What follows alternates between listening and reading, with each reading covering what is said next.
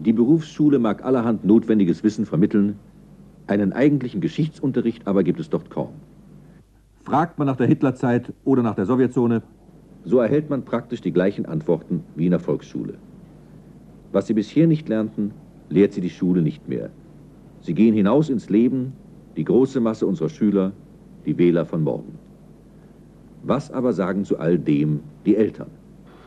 Ich finde es sogar sehr wichtig, dass unsere Kinder unterrichtet werden, damit sie, wenn sie mal äh, ins Leben hinauskommen, auch mal Bescheid wissen, damit sie mitreden können und auch äh, vielleicht dafür gewappnet sind, wie sie sich verhalten sollen. Man soll die Kinder belehren über das Gute und Böse der Nazizeit, damit sie, wenn sie den Weg ins Leben antreten, wissen, was sie zu tun und zu lassen haben, um das Gute äh, vom Bösen zu unterscheiden, damit sie der Gefahr entgehen, die wir keine Gelegenheit zu hatten. Also ich bin der Meinung, man soll die Kinder nicht darüber aufklären. Ich halte es für richtig, dass die Jugend über den Nationalsozialismus orientiert wird, damit sich die Kinder eine eigene Meinung bilden können. Zuerst halte ich die Unterrichtung über unsere gegenwärtige Situation für wichtig und die Unterrichtung über die Vergangenheit, weil sie darauf aufbaut. Wenn wir vermeiden wollen, dass unsere Jugend sich durch dieselben Irrungen und Wirkungen durchkämpfen muss, wie wir es notwendig hatten, dann bleibt gar nichts anderes übrig, als sie zu unterrichten, und zwar möglichst objektiv und möglichst eingehend. Ich meine, dass nach 14 Jahren endlich die Zeit mal ruhen müsste. Die war traurig genug. Ich halte es aber für dringend erforderlich, dass nicht nur das Elternhaus, sondern auch die Schule auf diesem Gebiet das Erforderliche tut und die Jugend eindeutig über und in klarer Weise und wahrheitsgemäß über diese Zeit unterrichtet. Und sie wird dadurch in der Jugend das Gefühl erwecken, dass es wirklich eine Zeit des Unrechts war und dass es vielleicht heute noch eine Zeit des Unrechts insoweit ist, als wir uns, es uns noch nicht gelungen ist, wieder in einem einigen Deutschland zusammenzuleben. Man kann die Frage stellen, wie kommt es, dass so wenig darüber bekannt ist? Denn es ist sehr wenig bekannt. Ich schätze aus meinem Beobachtungskreis als Vorprüfer der Studienstiftung des deutschen Volkes, dass etwa 50 Prozent, höchstens 50 Prozent aller Abiturienten über die Zeit nach dem Ersten Weltkrieg hinauskommen und die, der Prozentsatz derer, die auch die nationalsozialistische Zeit in der Schule kennenlernen, ist ganz erschreckend gering. Nur 5% der von mir befragten Eltern hielt eine Unterrichtung über die Nazizeit und über die Sowjetzone für unnötig. 95% aber wünschten nachdrücklich, dass ihre Kinder genau erfahren, was nach 1933 in Deutschland geschah.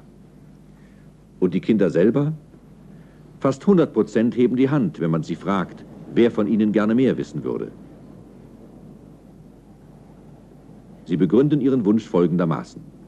Ich möchte mehr wissen, weil hier ganz in der Nähe eine jüdische Synagoge gestanden hat und warum Hitler sie zerstören lassen hat und warum er so einen Hass gegen die Juden hatte. Uns Deutschen wird ja häufig vorgeworfen, dass wir die Juden und sämtliche verfolgt haben und wir eigentlich wissen gar nichts davon.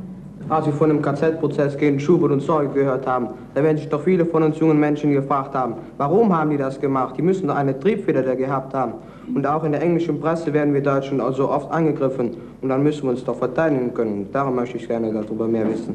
Ich möchte später noch einmal was von den Konzentrationslager hören. Zwar nicht gerne, aber man muss es hören.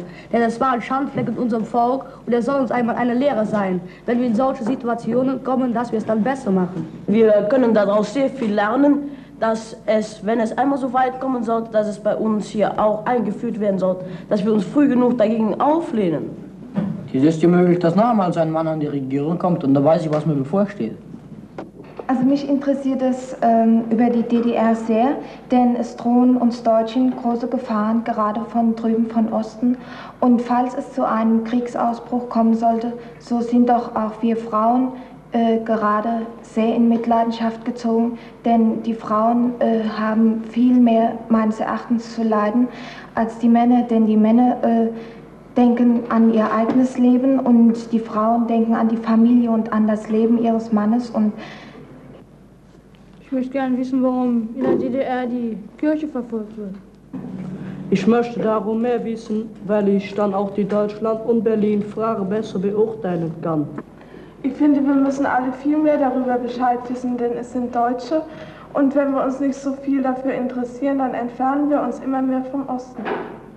Mit unserer wirtschaftswunderlichen Bundesrepublik haben wir inzwischen erreicht, dass wir alle so satt geworden sind, dass uns praktisch wie das heißt, große Schichten unseres, unserer bundesrepublikanischen Volkes sich überhaupt nicht mehr interessiert für den Osten und dass eben nur konkretes Wissen über den Osten unser Interesse an der Sowjetzone und dem Osten erhalten kann. Na, ich bin der Meinung, also, dass dieses ähm, große Problem vor allen Dingen des Kommunismus auf uns zukommt und dass wir eigentlich, also meistens jedenfalls im Kommunismus keine festen Gedanken entgegensetzen können, sondern meistens mit abgedroschenen Phrasen kommen, wie also von unserer Seite Freiheit und auf der anderen Seite Unfreiheit. Deshalb meine ich, dass wir uns damit beschäftigen müssen. Also ich möchte bekennen, dass ich mich privat zu wenig mit diesem Problem beschäftige, aber ich möchte doch sagen, dass vielleicht die Schule etwas mehr auf diese Probleme eingehen müsste. Ich möchte die Schule nicht beschuldigen, aber ich glaube, es wäre doch ihre Pflicht, uns etwas mehr dazu anzuhalten.